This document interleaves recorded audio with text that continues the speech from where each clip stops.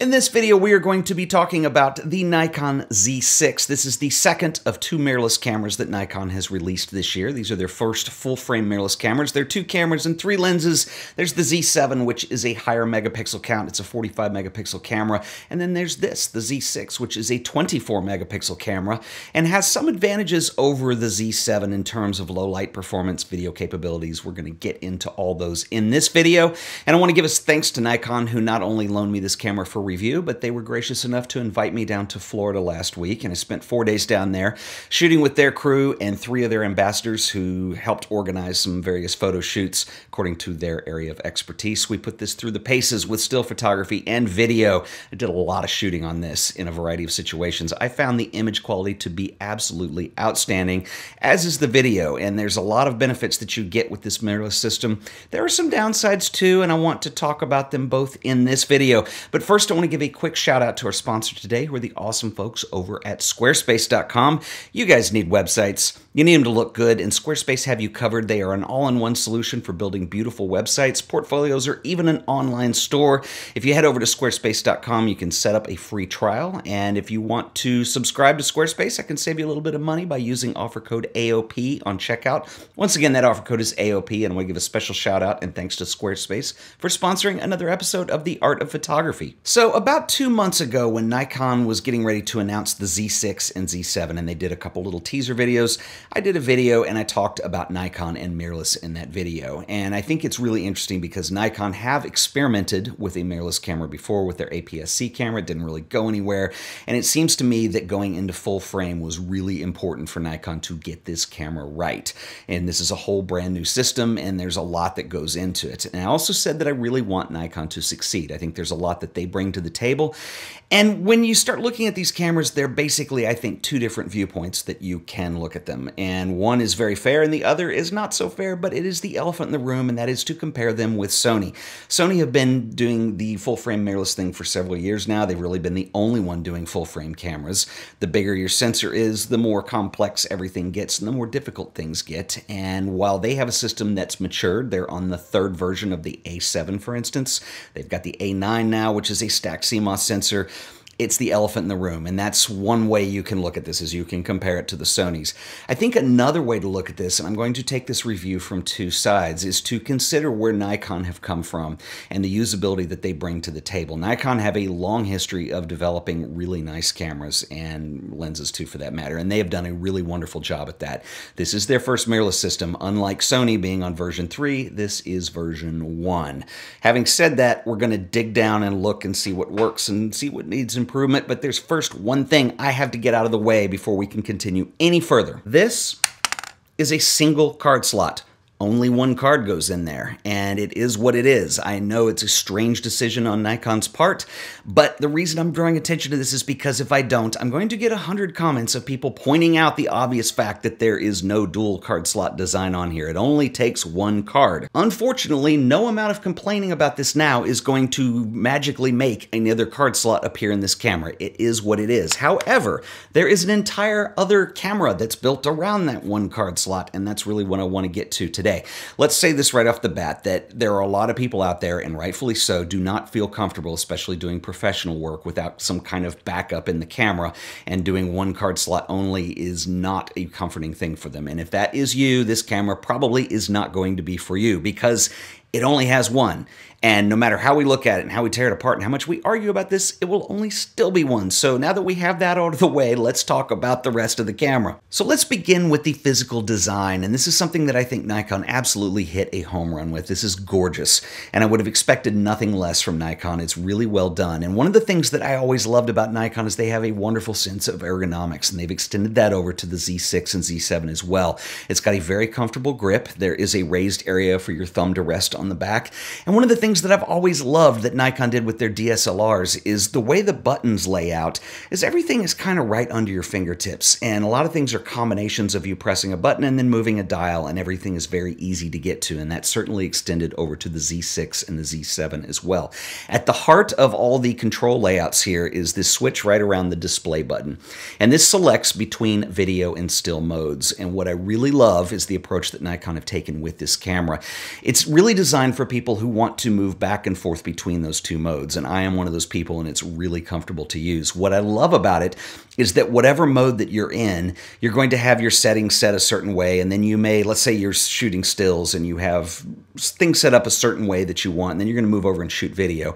And you change those settings up somewhat for video. When I switch back to stills, it remembered the old settings. This is something that Panasonic does really well in the GH5. It's something that Sony does not do very well because when you move back and forth between modes, whatever your control configuration is, is always still set up. And my workaround for that is using the custom storage settings on the command dial. And speaking of the Z6 and Z7 have three of these, and actually it's six, because remember I mentioned that you use the switch to go back and forth between stills and video modes, and it remembers the settings from the previous one. Well, actually you get three user settings for still modes and three user settings for video modes. So you have quite a bit of flexibility in the way that you set this camera up. So on the top of the camera, camera moving left to right, you have your mode selection dial, and on the right side of the camera, we have a top-level display, as well as an on and off switch, the shutter release, a video record button, an ISO function button, and an exposure compensation button. On the top right, we have the main command dial, and on the front of the camera, right under your index finger, you have the sub-command dial. And if you're a Nikon shooter, you're going to find the dial placement on the back of the camera quite familiar as well. On the left-hand side, we have the playback and delete buttons.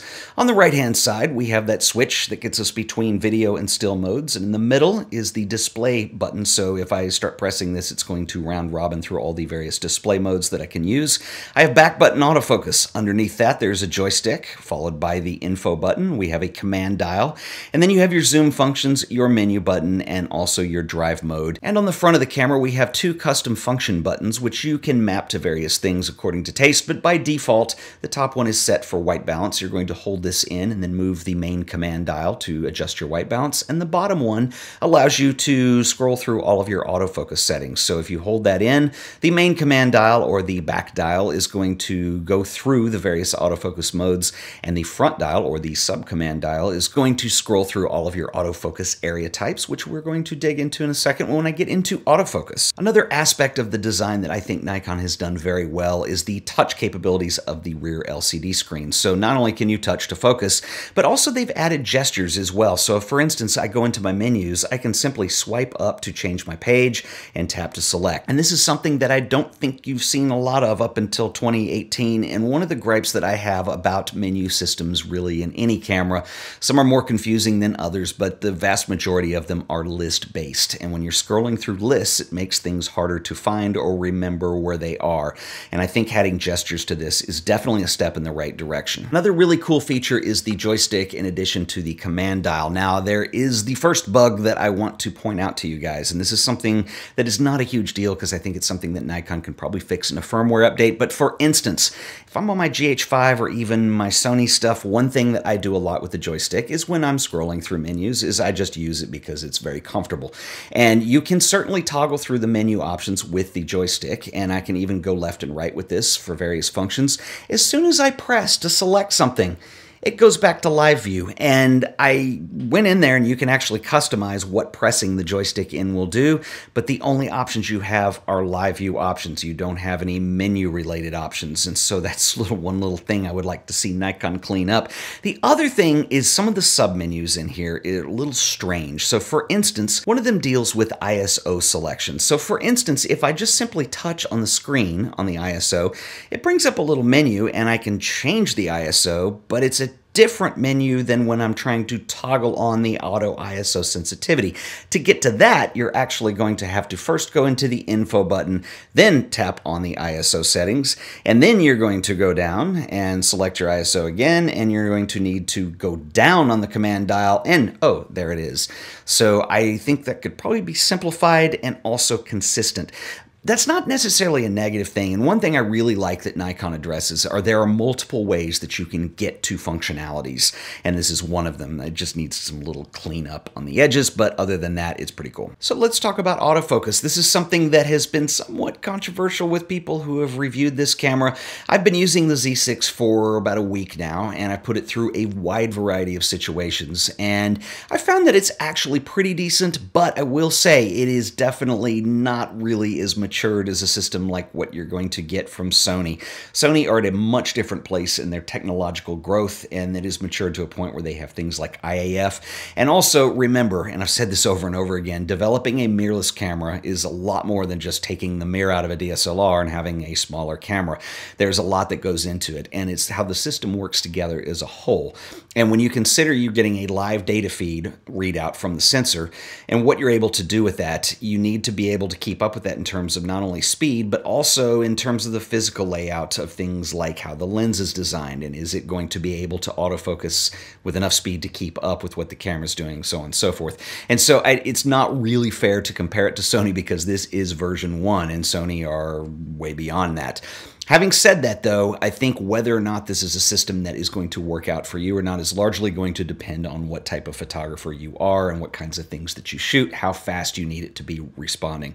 And so, for instance, I'll give you a couple scenarios. With Eye AF, you don't have it on this camera. It does have face detection, though, and it does pretty well. If I am in my wide autofocus area of selection in autofocus continuous or even single, it will recognize faces as they come onto the monitor, and it will focus in on those. Now, where you're going to run into trouble is if you were using a razor thin depth of field, and a lot of this is going to depend on your proximity to how far you are from your subject and what lens you're using, so on and so forth. Generally speaking, though, with face detection, if you have a really thin depth of field, it's not going to detect the eye. So a lot of times you'll get things like an eyelash in focus or a cheekbone or a nose, and it's not totally there. A workaround for this is to stop the lens down, obviously. And I found even when I adapted the 105 millimeter f1.4, which is one of my favorite lenses ever. It is not a native system lens, and we don't have Eye AF.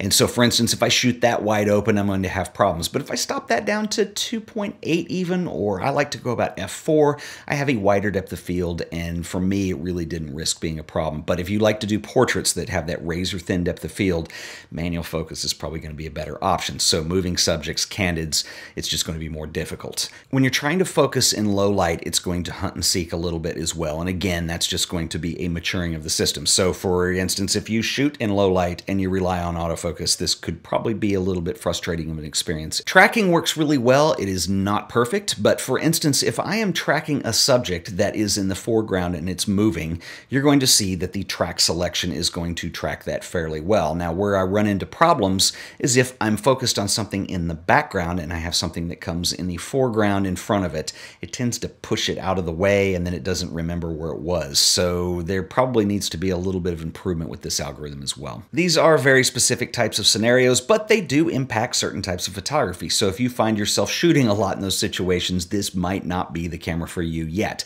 I have no doubt that Nikon are going to work to improve on this, but this is version one, as I keep stressing. Having said that, it's not all that bad. I shot for an entire week last week in a number of situations, and as long as you're dealing with normal situations with pretty decent lighting, and there's not a lot of distraction of things running back and forth. For instance, we didn't shoot a lot of sports. It works just fine. And another thing that I want to add to this is that the face recognition when you're using video is very tight. It locks on and it does an incredible job.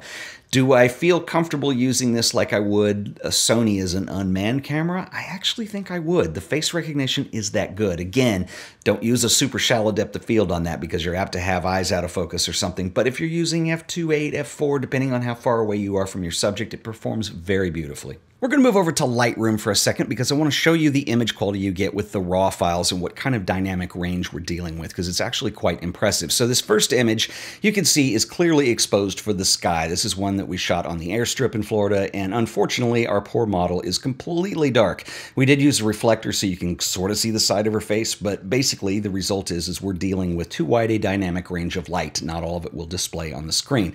Now I'm dealing with a RAW file and obviously JPEG you're not going to have the same results with. But if I turn up the exposure in Lightroom, and I'm just going to gradually bring this up, we're going to blow out the sky, obviously, but you can see that we have a lot of detail in our model. And when I zoom in, you're going to notice that we don't have much in the way of noise. So the files do look really good with this camera. These are 14-bit RAW files, but uh, let's zoom back out here. Um, so basically what we're dealing with, let's reset exposure, is we've got the information there. It's just a wider dynamic range than what we're able to display on screen. So I can fix this pretty easily if I just start bringing my shadows up. Now you have to be careful with this because a lot of times you're going to get that HDR look, but I can bring it up so it is recoverable and we can indeed see the model. Might add a little bit of contrast in there and we've got a pretty good looking image with very little effort. It's really impressive what dynamic range you're able to get off of this camera. Also impressive on the Z6 is the video capabilities. In fact, this is the area that I am the most impressed with. I think they have really done an amazing job, and it's really awesome to see Nikon step up in that department. Historically, they've kind of lagged a little behind Canon and Sony and some of the others, and I think that they are delivering results that are really quite impressive. And so I'm going to show you some footage here, and what you're looking at, we had a culinary demonstration that was set up, and we were testing the video capabilities of this camera. Now, one thing you need to understand is there's a big difference between the Z7 and the Z6. The Z7 is a higher megapixel camera. You've got 45 megapixels. Now, when you are shooting 4K video, it is actually downsampling from 45 megapixels. And so there's some pixel binning that's going on, and you just don't get quite as clean an image in the end. Now, with the Z6, there is no pixel binning, and it is a direct representation of what you're getting on the sensor. There's no cropping involved and the video looks absolutely beautiful. And so a couple things that I want to point out on here. When you're recording internally on the camera, you're getting an 8-bit file, and it looks pretty good. But if you hook up an external recorder via HDMI, and the one we were using is the Atomos Ninja 5, and you're able to get 10-bit recording, and you can also use N-Log, which is Nikon's log profile. And I found N-Log to be pretty good. Um, I really wasn't familiar with it because I hadn't hooked up an external recorder before the trip, so figuring out how to expose for this, but it was really really forgiving. There's really no noise. The base ISO is 800 with N-Log. So if you're shooting outside, you are going to need to use neutral density filters or something to cut the light back if you want, especially if you want to have a shallow depth of field. But the results are amazing, and it was super easy to grade.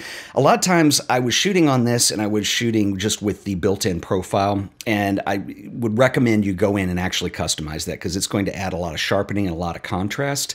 And one of the cool things is when you're shooting in 10-bit to an external recorder is you can actually bring back a lot of that shadow detail. It's not lost because you have enough information in the file. So much like the raw images, we're able to do some recovery with video as well. It's less forgiving with highlights, but shadow detail is certainly there. And I was really impressed with this. Another thing that I did not expect to see on this camera that I really liked is when you're shooting in 1080. Not everybody wants to shoot in 4K. Not every situation is going to call for 4K video. I have to say the Z6 is some of the cleanest looking 1080p video I have ever shot. And I did some slow-mo stuff because the top speed when you're shooting in 4K is 30 frames a second. And if you want 60, you've got to go down to 1080p.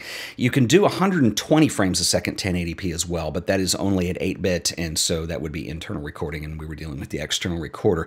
But all this footage is simply conformed frame rate it was shot at 60p and I've conformed it down to 24 for this video and it looks outstanding. And by the way, this is 1080p video and it's been upscaled in Final Cut Pro and it looks outstanding. I really, I don't see much of a difference between this and native 4K video. It really is impressive. My experience so far having shot on the Z6 for a week now has been largely positive and I think that a lot of that has to do with the ergonomics. It's a very comfortable camera to use. It's a very inspiring camera to want to use.